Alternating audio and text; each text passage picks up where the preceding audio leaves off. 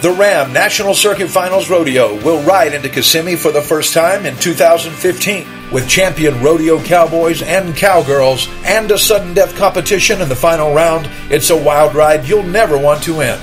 Plan your spring vacation now to Kissimmee, Florida, located next to Orlando's theme parks, attractions, and entertainment. Visit rncfrexperience.com.